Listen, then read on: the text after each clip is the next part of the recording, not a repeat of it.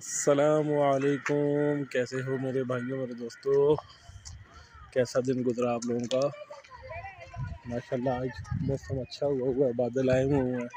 तो मैंने सोचा आज आप लोगों को अपने तलोकर की थोड़ी सी सैर करवा दूँ। तलोकर गाँव कैसा है? थोड़ा बहुत उसके बारे में एक साइड पे जा रहे हैं। तो उस साइड पे जाना, तलोकर का जो सीन शीन है वो आपको दिखाते हैं। चलें, देखते हैं आगे। ये देखें जी, माशाल्लाह। तो लोकर की खेतें। अभी तो गंदम की कटाई हो चुकी है तो अभी ये बिल्कुल खाली खाली नज़र आ रहा है। पहले बिल्कुल फुल थी खेत। ये जिस जगह मैं खड़ा हूँ ना, ये इस तरफ़ पहले सारी खेत हुआ करते थे। ये जो मकान बने हुए हैं सामने, माशाल्लाह ये सामने कितना प्यारा मकान कोठी बन रही है अल्लाह पाक नसीब करे ने कहते हैं, जब कोई चीज़ देखें जो आपको पसंद है तो उसको नज़र से बचाने के लिए पढ़ा करें। बिस्मिल्लाह माशा बिल्ला अल्लाह पाक सबको अपनी ज़ुबान में रखे। ये घर बना हुआ है जी, माशाल्लाह। और ये बन रहा है साथ। अभी ये कंस्ट्रक्शन किसी की हो रही है। देखें।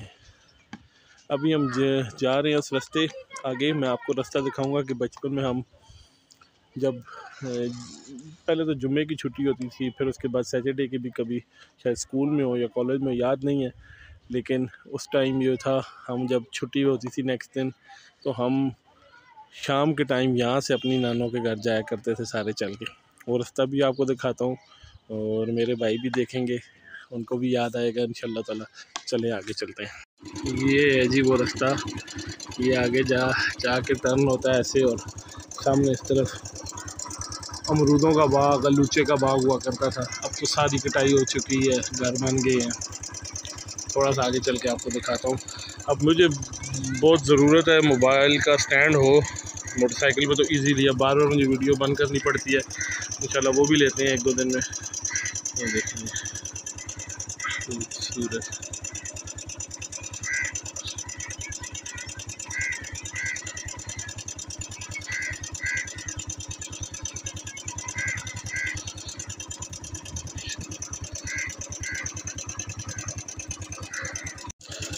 ये वो रास्ता है आ रहा है आगे आके और ये इधर से इधर जाता है। ये आगे साथ, ये बाग हुआ करता था सारा।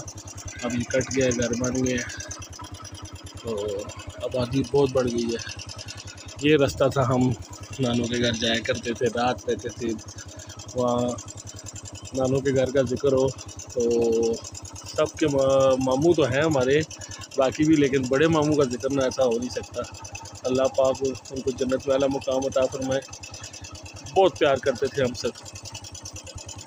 बहुत कम ही ऐसे लोग देखे हैं जो बच्चों पे सख्ती भी करते थे, लेकिन प्यार भी हद दर्जे का करते थे। तो अल्लाह पाक उनको अपनी बरगाह में पास, अपने पास जगह अता फरमाए।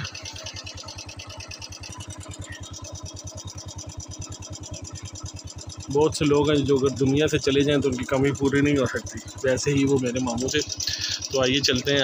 आज उनकी कबर पर जाकर दुआ भी करते हैं। चलो, चलते हैं। देखें जी, शहर खामोशा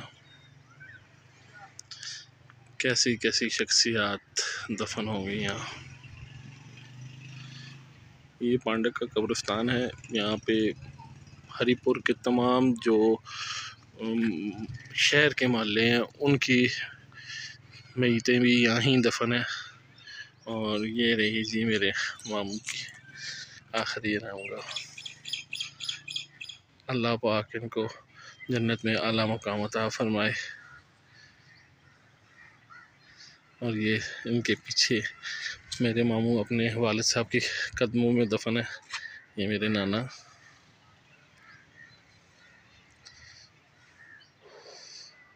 नाना को तो मैंने देखा नहीं है, लेकिन सब कहते थे कि जो मेरे मामों की खसूसियात थी, वो नाना से अडाप्ट हुई थी।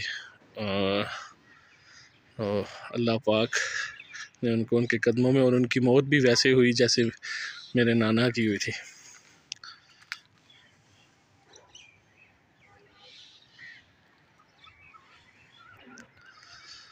हाय, वो दिन वापस तो नहीं आ सकते। हम इनके लिए दुआ कर सकते हैं।